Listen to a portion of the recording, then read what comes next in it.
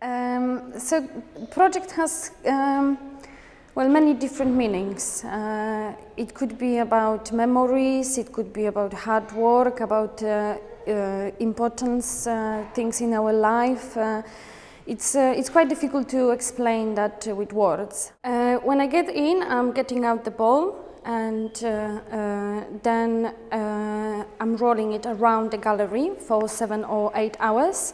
And during this time, people are approaching me, um, asking what I'm doing. Uh, then um, I'm asking them back uh, what is the most important thing in their life. And uh, uh, I'm also asking them to write what they said.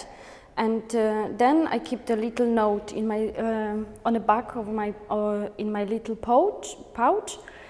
And on the end of the day, um, uh, I'm sticking the notes onto the ball and uh, cover that with uh, layers of cling film just to keep the note safe.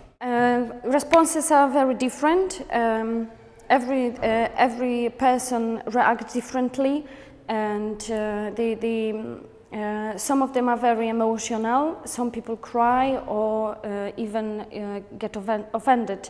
And I think it's a it's very extraordinary journey uh, because they are not only, um, not only for me, but for people who actually become a part of the project.